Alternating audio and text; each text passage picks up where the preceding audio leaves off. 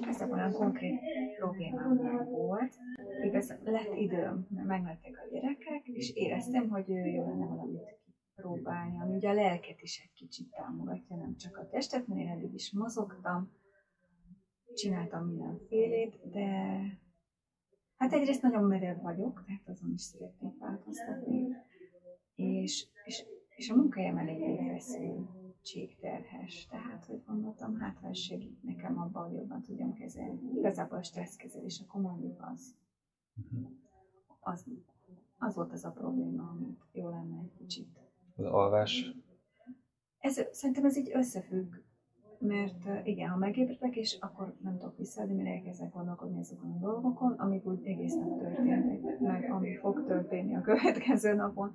Igen.